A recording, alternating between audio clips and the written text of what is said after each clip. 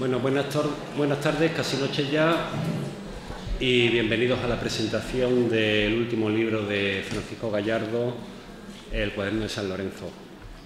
Eh, antes que nada, quería agradecer por una parte a, la Casa de los Marqueses de Algaba, que nos hayan recibido aquí esta tarde, y por otra a los dos presentadores, a Paco Correal y a Paco Robles, bromeaba el otro día con Paco Roble y le decía que debíamos empezar con la, famosa copla de Paco, Paco, Paco, porque en realidad es lo que, lo que tenemos en la mesa, ¿no? Yo no me voy a detener a, presentar a los presentadores, que resultaría un poco redundante. Paco Roble es sobradamente conocido, he sido el editor de sus novelas completas, de momento. Y Paco Correal es un clásico de la, del periodismo cultural sevillano y además fue el primer periodista que me sacó en prensa, allá en el, siglo pasado, cuando, como dice Paco, en el, el, muro de la calle Torneo eran los límites del mundo. Pues en aquella época, en una antología de poesía sevillana, hizo, hizo Paco Correal un, reportaje sobre, sobre aquello. Y bueno, yo creo que mm, la verdad que como he llegado corriendo no nos hemos puesto de acuerdo sobre cómo lo vamos a hacer, pero entiendo que es un diálogo con el autor, ¿no? Sería lo, más propio. Y, dicen que empieza Paco Correal a mantener ese diálogo. Entonces, pues mira, Paco, te paso la palabra y ya el micrófono es tuyo y... Bueno, buenas tardes. ¿Se oye? ¿Se oye? A ver, ¿se oye bien? Ahora un poquito mejor, ¿no? Bueno, yo voy a voy a ofrecer eh, un, diálogo conmigo mismo. Eh, cuando me invitó Paco y me habló y me dijo que iba a compartirlo con Paco Robles, le hablé de los Pacos, de los, francotiradores, ¿no? Eran como se llamaba los Pacos en la guerra, era por la, la onomatopeya del arma que utilizaban al Paco, Paco. Aquí estamos tres Pacos, pero en son de paz, que además ha venido el editor a pacificarnos. Eh, yo he tomado unas notas, pero voy a hacer un resumen de mis notas. Eh, la verdad que el, libro es una joya, es una delicatessen, es, la consagración de la Plaza de San Lorenzo como, escenario literario, ¿no? porque eh, es un, en un espacio relativamente reducido, pues allí escribe novelas Pepe Mel, escribe novelas El peluquero del de la calle Cardenal Espínola, eh, escribe novelas sobre la, sobre, sobre la Plaza San Lorenzo, José Luis Rodríguez del Corral, si amanece, si eh, el, título, el título es lo que menos me gusta de esa novela, de la novela espléndida, solo amaneces, solo amanece si estás despierto. Eh, rodeado de la poesía de Rafael Montesino, de Gustavo Adolfo Becker, de Rafael Lafón, que murió en Cardenal Espínola, de Joaquín Romero Murube, que vivió en esa calle, y bueno, y ya Cuaderno de San Lorenzo es la, consagración. Eh, la patria del escritor es la infancia y hubo un momento en el que la patria de este niño fue la literatura.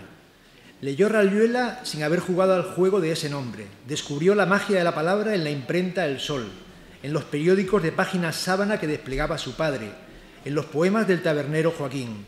Como todos los niños, Paco Gallardo descubre que el tiempo cernudiano se le escapa de las manos cuando cumple siete años, que es cuando creíamos que nos hacíamos hombres. Un retrato gráfico y onírico de la infancia, Prus sin Magdalena, ese periodo en el que la verdad de las mentiras nos protegen de lo que vendrá después, la mentira de las verdades. Eh, es un barrio, eh, hace de, la, calle y la plaza, ¿no? la calle y la plaza, la calle Santana y la, y la plaza de San Lorenzo, que parece una geometría astronómica, ahí, mm, que es un barrio donde él pasó su infancia y donde yo pasé mi infancia impostada, porque yo llegué a Sevilla con 20 años recién cumplidos, entonces también esa infancia, digamos, de mayor, ¿no? Y descubro el barrio primero profesionalmente cuando dejo el Correo de Andalucía, que por cierto lo funda Marcelo Espínola, eh, que fue un cura de San Fernando, que fue párroco de, San Lorenzo, el último, obispo, el último arzobispo andaluz de la diócesis de Sevilla, y murió en 1906. Llego a Martínez Montañés para trabajar en Diario 16 Andalucía, en una casita que era la sede de Radio 16. Allí, allí Iñaki Gabilondo puede todos los días disfrutar de, ese, de eso que cuenta Paco en el comienzo del libro, que dice que si algún día se pierde, que lo busquen en la plaza de San Lorenzo. Y cuando ya el diario 16 se va al polígono Calonge, vuelvo al barrio ya como vecino. Ya no, soy, no, vivo, no, trabajo en Martínez Montañés, pero me hago montañés porque vivo en la calle Cantabria y desayuno todos los días en el Sardinero. Es la época, una época maravillosa, los años 80, cuando soy vecino de Atinaya, Atín, Atín y Pablo Cazalla, que eran esos fotógrafos que estaban con los cascos en el pasillo de Martínez Montañés esperando los encargos fotográficos, en la época de, de los cuatro goles de Butragueño a Dinamarca, los viví en la calle Cantabria, en la final que perdió el Barcelona contra el Esteagua de Bucarest, recién operado de fimosis, la viví en la calle Cantabria, el Via de Gran Poder, eh, eh, quedaba con Diego Carrasco para irnos a jugar a los campos de San Benito. Entonces, todo eso en ese barrio donde Paco mm, me ha devuelto a mi posniñez, es decir, al niño manchego, culipardo, medio gallego, que llegó a Sevilla y se inventó una infancia adulta de ir todas las noches al cine ideal que también aparece en, este maravilloso mm, eh, libro de, un autor que es casi de mi generación. le saco unos meses, él, el día, él cumplió 10 años el día que nació el rey Felipe VI. O sea que estamos ante un real escritor. médico, novelista, igual que su hermano Miguel, que nació el día que Alberti cumplió 54 años, pues igual que Miguel es periodista y abogado, eh, el único que solo es una cosa es su hermano José Joaquín, que es, pero cuando es una cosa, pero que ha sido muchos años. Y, Jesús, que es profesor, creo que ha sido director de San Isidoro, los conozco a todos y mi GPS es ir por el gran poder de Sevilla, cruzándome con los Gallardos por esa calle. Y, en fin, ya eh, paso a mi compañero Paco Robles, tocayo y, sin embargo, amigo, para que siga con este retrato en sepia de un tiempo en el que había muy pocas cosas y muy pocas bastaban para ser feliz.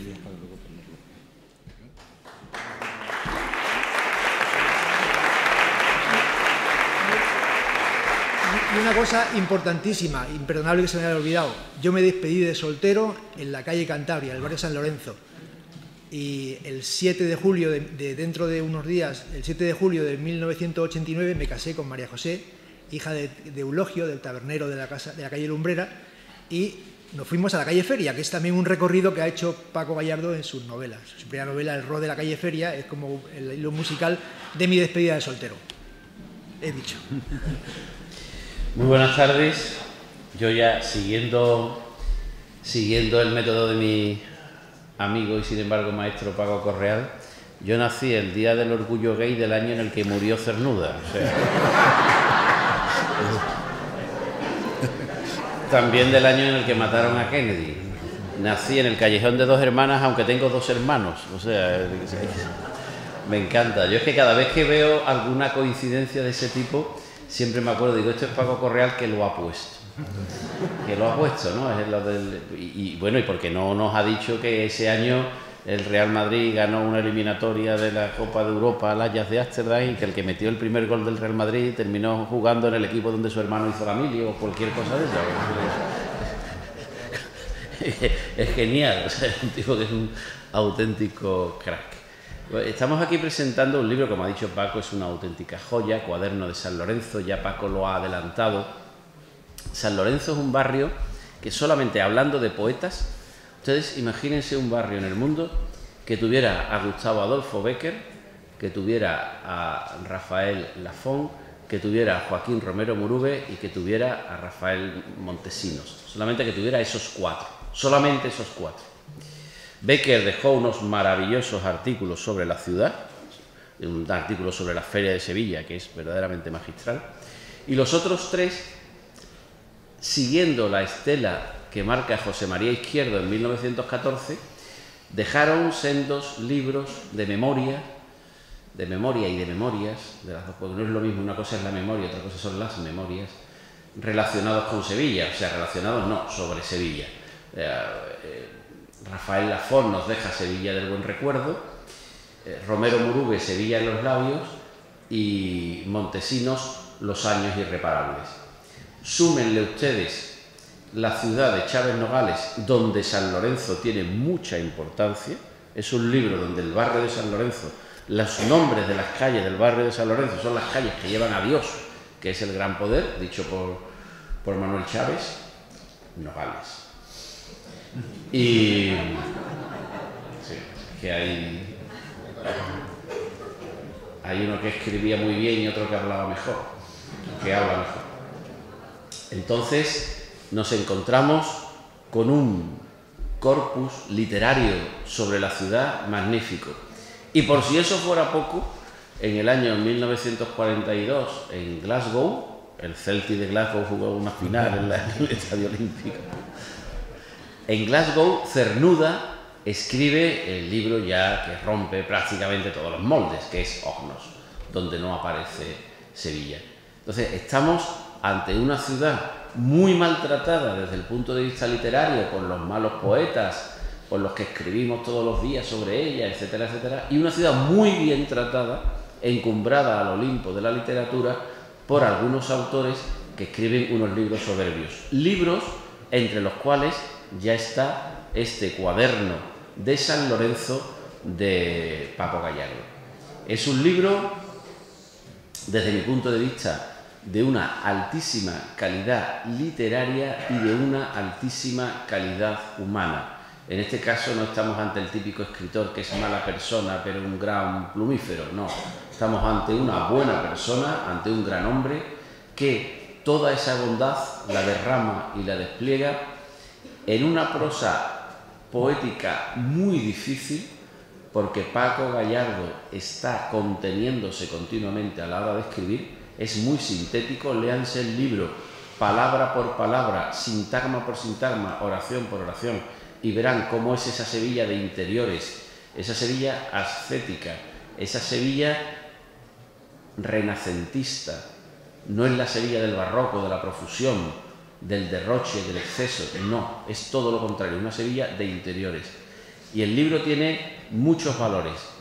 Yo voy a destacar solamente tres o cuatro. El primero ya lo he dicho, una calidad literaria excepcional, un descubrimiento o redescubrimiento de un barrio, ya no trata el libro de la ciudad, sino que ya Paco Gallardo se mete dentro de un barrio solamente y si me apuran dentro de ese barrio en una plaza, o sea, ya es lo que crea, eh, crea un microcosmos en la plaza, una plaza que es el mundo, la plaza de San Lorenzo es el mundo, ahí está todo, ahí están las pasiones, ahí está el deseo, ahí está la realidad, otra vez desnuda, ahí están los sentimientos, ahí está la tristeza de la posguerra, ahí está la esperanza de un tiempo nuevo. Pero es que además, por si esto fuera poco, hay algo que Paco añade al libro, que se ve en las fotos, pero que se ve perfectamente en el texto, que es algo tan denostado por algunos, que no sé por qué, pero bueno, en España siempre ha habido algunos que se creen superiores a los demás, ya lo ya los denunciaba Cadalso, esos eruditos a la violeta, que es el costumbrismo. Leyendo el libro de Paco Gallardo nos encontramos con la Sevilla de las radios de Cretona, de un plato que ya no toma nadie, que son los huevos pasados por agua. Bueno, el otro día un amigo dijo, ¿tú conoces a alguien que tome huevos pasados por agua? Y dice, sí, yo. Y helado de tutti, usted también. Y helado de tutti frutti, que también se lo tomaba este. Inauditas. Entonces, es eso, la radio de Cretona. El capítulo de la radio de Cretona es verdaderamente excepcional. Porque ahí Paco, además, va ligando las letras de los boleros, las letras de las canciones, de las coplas, las va ligando de tal manera que no sabes dónde empieza la realidad y dónde termina la copla o dónde empieza la copla y dónde termina la realidad. ¿Por qué? Porque la copla formaba parte indisoluble de la realidad. Era la realidad. Era sobre todo la realidad de aquellas mujeres. O cuando le pregunta a su madre qué es un salto de cama. A ella se te veía, ¿eh? Y eso que era un niño todavía. Niño, ¿cómo va a saltar una mujer la cama? Le dijo la, las peinadoras. ¿Ustedes recuerdan las peinadoras? Con ese espejo versallesco, pues eso tiene ese encanto de las cosas sencillas que en una época tan dura propició que la gente fuera más feliz y crea un sentimiento que nos acompaña a lo largo de todo el libro, que es la ternura. Es un libro como Paco, repleto de ternura, sin prosa edulcorada, sin azúcar de sobra, con sentimientos auténticos, pegados a la raíz, pegados a la ciudad, donde descubrimos, algunos descubrirán, otros redescubrimos o volvemos a encontrarnos con aquella Sevilla, y ya termino con esto, con aquella Sevilla que no ha pasado porque está en dos lugares, se ha quedado a vivir en dos lugares. Uno, en este magnífico cuaderno de San Lorenzo, y el otro lugar en el que vive la ciudad es en la memoria y en el alma de un gran médico, de un gran escritor y sobre todo de un gran hombre, que además es tocayo y amigo mío que se llama Paco Gallardo. Muchas gracias.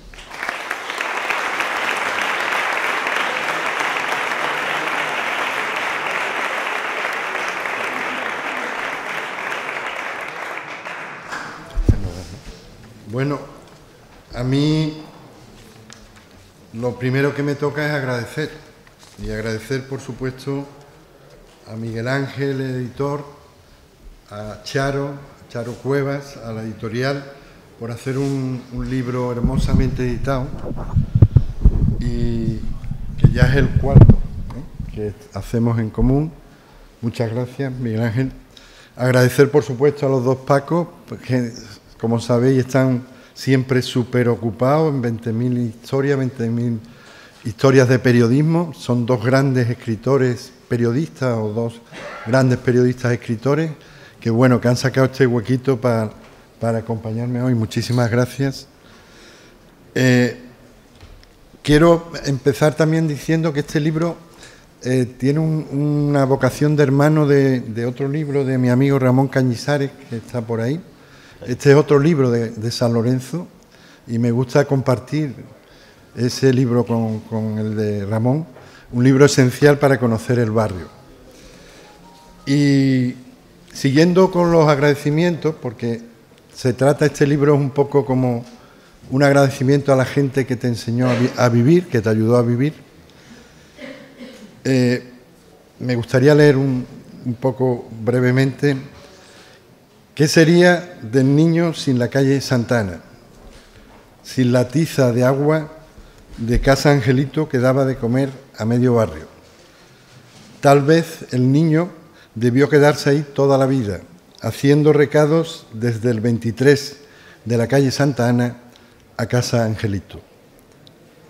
¿Qué sería del niño sin la camisa blanca de Joaquín, el bodeguero poeta?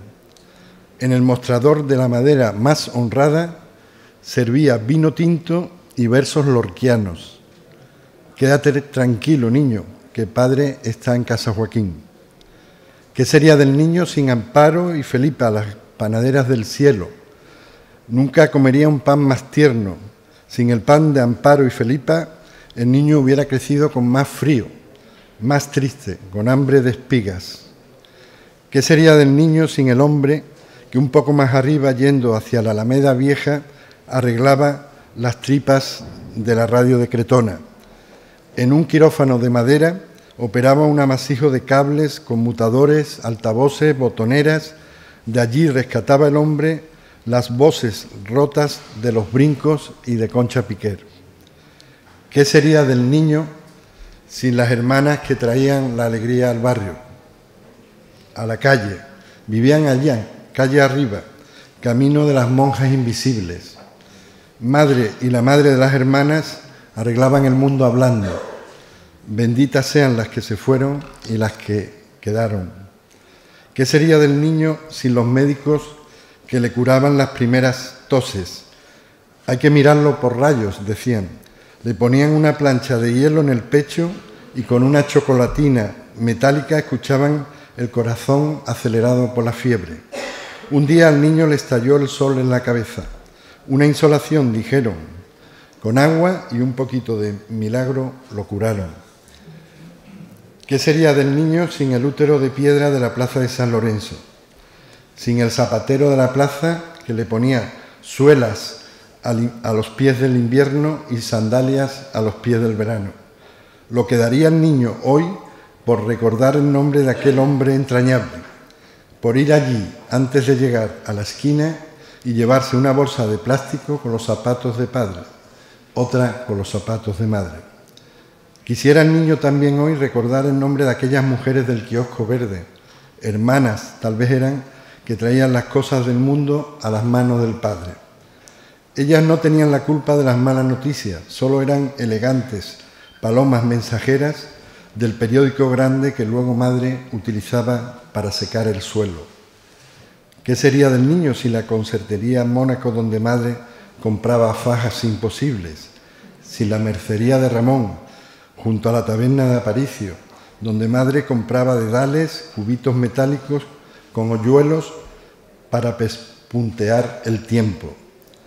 Si la calle Santa Clara, donde vivía el poeta niño de los ojos claros, frente a la torre medio derruida de don Fadrique, muy cerca de la casa del buen amigo, cuyo padre sabía de todas las músicas. ¿Qué sería del niño sin casa Clemente, en cuyo mostrador blanco debió dejar padre sentado al niño para siempre? Sin casa Ovidio, felizmente ahora casa Ricardo, aquel templo romano, madera barroca en la vieja calle de Flandes. A Ricardo, gratitud eterna se le cayó una lágrima cuando, muchos años después, por la puerta pasó padre, a hombro de sus cuatro hijos, dormido sin prisas, cansado de vida. ¿Qué sería del niño sin la tortilla de pétalos de huevo de la abuela María Jesús, sin los gazpachos de jazmines, sin la sopa de, bugambillas, sin la peinadora donde la tía Luna y la tía Lela se alisaban el pelo formidable de las alas? de las hadas. A ellas va dedicado este cuaderno, a la tía Luna, que alumbra su nombre, a la tía Lela, pintura de mi museo. ¿Qué sería del niño sin las primas hermanas, las hermanas primas? Andrea, que empezaba a andar por el pasillo de la calle Castellar, a veces camino del balcón tropezaba y se caía, pero luego, después, se levantó y nunca se cayó más. Luego llegó María Jesús, como su abuela, el, nombre, como su abuela, el temperamento, que es el nombre disimulado de la temperatura de las almas. ¿Qué sería del niño sin los helados azules luminosos de los hermanos? Permitidme que pronuncie sus nombres, José Joaquín, Miguel, Jesús. A veces la mejor poesía es llamar a los grandes hombres por su nombre. Bendita suerte de repartir con ellos el tiempo, las habitaciones, el mármol, el pan. ¿Qué sería del niño sin el generoso sombrero de padre? Nunca se puso una corbata de colores, quizás porque pensara que el mundo es una cosa seria. ¿Qué sería del niño sin los hermosos geranios de madre, la sangre coagulada de su belleza?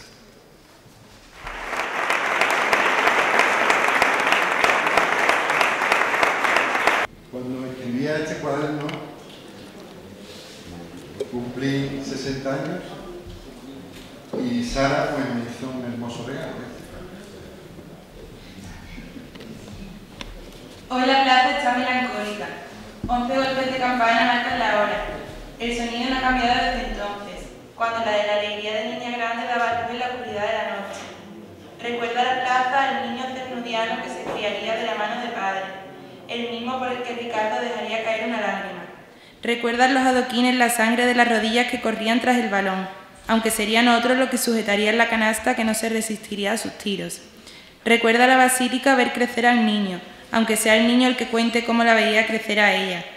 Recuerdan los loros las fantasías que volaban entre la curiosidad, aunque ni en las suyas propias imaginaban que sería una mirada niñada la que los observase tras una de esas ventanas. El tiempo es relativo, Ve la plaza chica el niño grande cenando donde su hija descubriría la satisfacción de la medicina. La misma hora, el mismo día, el sonido no ha cambiado desde entonces. Eran casi los años 60 cuando la plaza vio al niño por primera vez, y es el niño el que ahora ve la plaza entrando en los 60. Es un libro de una calidad literaria muy grande, muy notable, pero no abusa de la literatura, o sea, no, hace ejercicio, no hace, no hace alardes, y eso engrandece su resultado. Entonces, pero yo he encontrado huellas, sin nombrarlo, de Sánchez Ferlosio, eh, dos huellas. La pasa, la pasa como eh, la fruta de la memoria, que aparece en el jarama de Sánchez Ferlosio y en el Ulises de Joyce, y luego cuando aparece la máquina Singer, la máquina Singer, eh, me ha recordado una frase del jarama, esa novela que detestaba el propio Sánchez Ferlosio, quien dice Singer dice garantía, ¿no? Y luego hay muy pocos nombres, o sea, es una novela mm, donde mm, el nombre es San Lorenzo, sus hermanos, madre, padre, eh, tenemos en común, él son cuatro varones, nosotros somos cinco, eh, desempató mi hermano Mario, porque yo soy su, padrino, y está, y está llena, hay un el nombre de Elvis Presley, creo que es de los pocos nombres propios que me ha traído muy buenos recuerdos porque me enteré de su muerte en un taxi en Sevilla el año que vine a hacer prácticas al Correo de Andalucía. 16, eh, 16 de agosto de 1977. ¿Qué, trofeo, qué, partido de qué trofeo veraniego se Ese año fue el año bendito en el que Sevilla se llevó la Copa del Rey y el Nobel, y el Nobel de Literatura. Con Vicente Alexandre, Es que además, eh, él, o sea, el día que cumple, cumple 10 años, el año que nace el rey Felipe VI, y cumple 19 cuando Gordillo debuta en primera contra, contra el Burgos saliendo por Cardeñosa. Sí, señor. Me voy.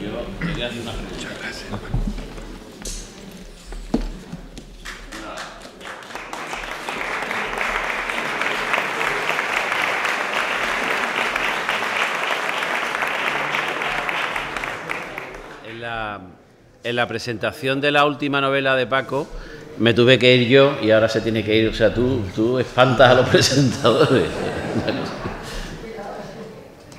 me gustaría hacerte una pregunta porque también como medio profesional o aficionado del asunto, pero cualquiera ve normal o natural que se escriba un libro como este. Sin embargo, escribir un libro como este, tú lo sabes, es muy duro. Hay momentos en los que te viene la memoria, te vienen los seres queridos que, ya no. Además, tú escribiste el libro, me lo acabas de decir ahora, ya con tus padres en la memoria, no en la, no en la realidad. ¿Cuál es el desencadenante? ¿Cuál es el momento y la causa que provocan que tú escribas este libro? O sea, el momento en el que, si estuviera aquí Paquiño, lo ilustraría. ¿Cuál es el momento en el que tú dices, voy a escribir un libro de memorias o voy a escribir cuaderno de San Lorenzo, un libro sobre San Lorenzo, sobre mi infancia. ¿Cuál es el momento y por qué se desencadena eso? Sí, yo em, empecé a escribir esto un poquito en el espacio, en el aire, en, Facebook. Y entonces hubo un, momento que se me iba convirtiendo en un libro. Entonces empecé a darle una uniformidad a todos los textos, un tono, y vimos Miguel Ángel y yo que había un libro, que es un libro que yo había querido escribir desde hace mucho tiempo, pero no lo sabía. tú sabes que esas cosas ocurren. Es decir, no es un libro que tú dices, me voy a poner a hacer un libro, sino que te encuentras con medio libro y cuando ya encuentras ese medio libro, es un libro muy íntimo, pero que al mismo tiempo puede ser muy universal, porque todo el mundo ha tenido un barrio, por supuesto un padre, una madre, unos tíos, unos hermanos, un barrio, una lechería, un zapatero. Entonces eh, es un poco la crónica de un tiempo, de una forma de vida que ya no existe. Entonces eso me apetecía hacerlo también. Es como eh, el documento de la vida de barrio que ya, para bien o para mal, ya no existe. A mí me gustaría saber si del mismo modo en el que los relatos parecen eh, construidos alrededor de un mismo sitio físico, como es la, Plaza de San Lorenzo, el barrio, etc., eh, precisamente por lo difícil del proceso que se ha comentado, si hay algún, algún método, algún detonante de inspiración que hayas usado para, escribir la, la, mayoría de relatos, es decir, no un sitio físico externo al que volverte, como es lo que está escrito, sino algo que te pusiera en contacto con toda esa parte pasada, algún método o algo que hayas seguido. No, yo tenía el peligro de escribir sobre fotografía y no lo he hecho. O sea, no he escrito nada, solamente el, último, que se llama Dos Miradas, que es una fotografía de mis padres. Ese sí lo escribí con la, la foto. Entonces yo he tirado de memoria pura. Tenía la sensación de estar sacando de un pozo de memoria del tiempo y no me he documentado para nada ni he buscado ningún detalle porque quería que fuera la memoria limpia. de hecho, puedo dar fe que la... ¿Se oye por ahí? Sí, ¿no? Ahora. Puedo dar fe de que la, la, idea de acompañar los textos con imágenes fue una idea posterior y ya cuando empezábamos a editar el libro surgió la idea de acompañarlo a algunas imágenes, en algunos casos imágenes provenientes de la hemeroteca y en otros casos imágenes provenientes del álbum familiar de, de Paco, pero fue, fue una, idea, una, idea, posterior. Hubo que buscar las imágenes para ilustrar los textos que ya habían sido previamente escritos. No, no se escribieron, aunque en la versión impresa se puede ver el texto al lado de una imagen, ya estaban los textos escritos y hubo que buscar las imágenes para ilustrar los textos.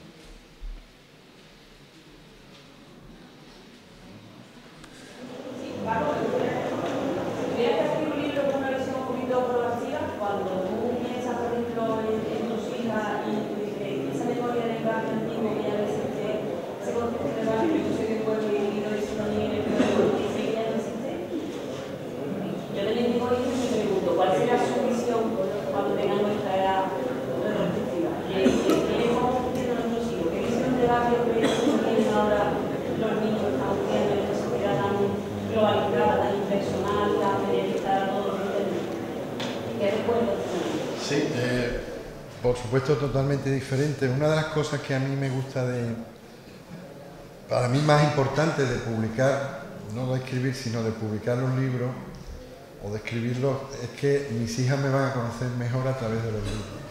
Entonces es una forma de conocimiento añadido a, a la convivencia que tengo. Entonces, conforme vayan creciendo, vayan teniendo años, van a conocer los textos y van a conocer aspectos de su padre desconocido para él. Y entonces en este caso es un poco de dónde viene su padre, ¿no? que la infancia. Yo creo que los barrios van perdiendo su autenticidad, van perdiendo su idiosincrasia y de alguna forma me vi eh, un reflejante que pasa en el barrio.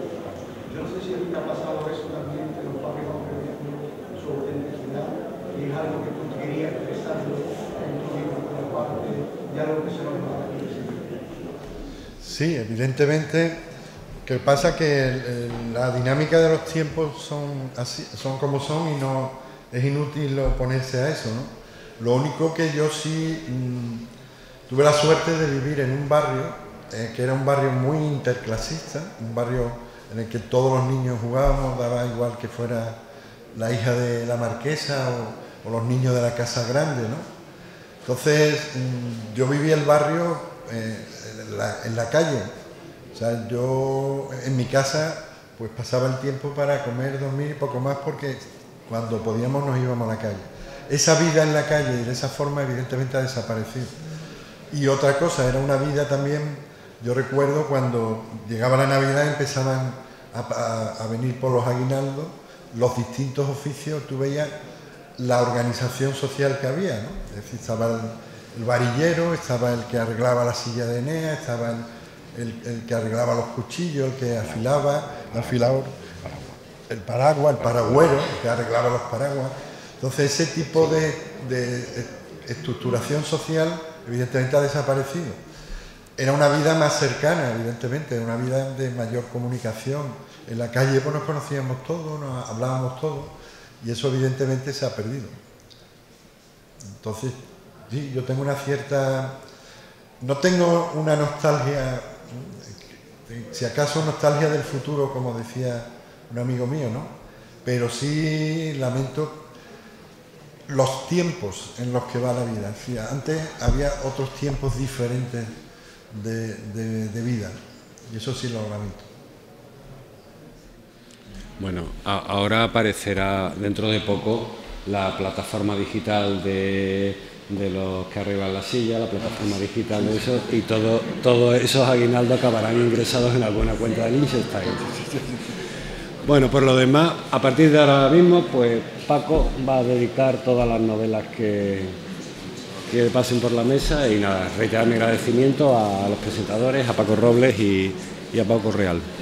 Muchísimas gracias por venir, ¿eh? por el